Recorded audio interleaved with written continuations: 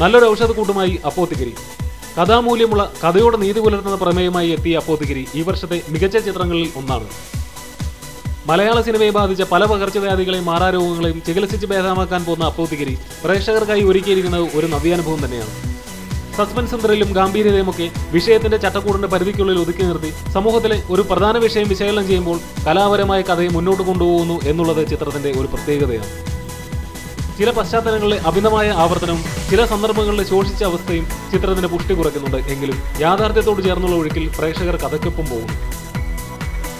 ഇടവേള കഴിഞ്ഞും ഒരുവിധം താളത്തിൽ പോകുന്ന ചിത്രം ഒരിടത്ത് ചെന്ന് വിഷയദാരിദ്ര്യത്തിൽ മന്ദിഭവിക്കുന്നു എങ്കിലും ഏറെ താമസിയാതെ തന്നെ വീണ്ടും ഊർജം ഉൾക്കൊണ്ട് സഞ്ചാരം തുടരുകയും സാമാന്യം തരക്കേടില്ലാത്ത ഒരു ക്ലൈമാക്സ് കണ്ടെത്തുകയും ചെയ്യുന്നു പലയിടങ്ങളിലുമുള്ള സന്ദർഭങ്ങളും സംഭാഷണങ്ങളും നന്നേ വിരസതയുണ്ടാക്കുന്നു എന്നുള്ളത് മറ്റൊരു സത്യമാണ്.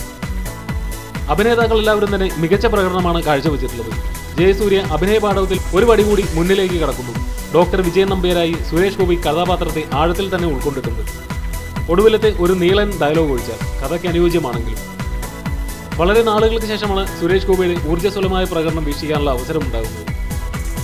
ചെറിയൊരു ഇടവേളയ്ക്ക് ശേഷം അല്പം കൂടി മനോഹാരിതയും ഉന്മേഷവും കൈവരിച്ച് തിരികെത്തിയ അഭിരാമി വികാര നിർഭരതയുടെ ഇരയാകുന്നുണ്ടെങ്കിലും ഡോക്ടർ നളിനി എന്ന കഥാപാത്രത്തെ നന്നായി തന്നെ അവതരിപ്പിച്ചിട്ടുണ്ട്.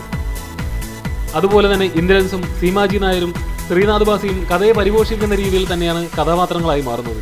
ആവേശം ഒരല്പം കൂടി പോയിട്ടുണ്ടെങ്കിലും ആസിഫ് അലി തന്റെ കഥാപാത്രത്തിന് കരുത്ത് പകരുന്നുണ്ട്.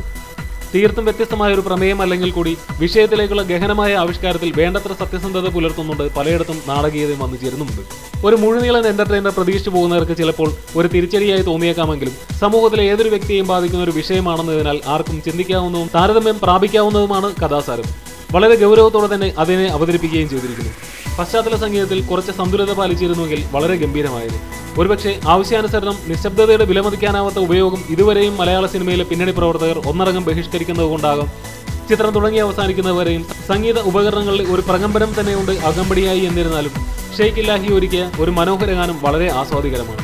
പശ്ചാത്തല സംഗീതത്തിന്റെ ആധിക്യം വികാരനിർഭരതയുടെ അതിപ്രസരം പലയിടങ്ങളിലെ സംഭാഷണത്തിലുള്ള അപര്യാപ്തത എന്നീ ചില ദൂഷ്യങ്ങൾ ഒഴിച്ചു നിർത്തിയാൽ ഒരു മനോഹര ചിത്രമായി അപ്പോതിക്കരിയെ വിശേഷിപ്പിക്കാം. ഓരോ പ്രധാന വാർത്തയും ഇന്ത്യ ക്ലിക്സിലൂടെ അറിയാൻ ഞങ്ങളുടെ ഫേസ്ബുക്കിലും ട്വിറ്ററിലും അംഗമാകും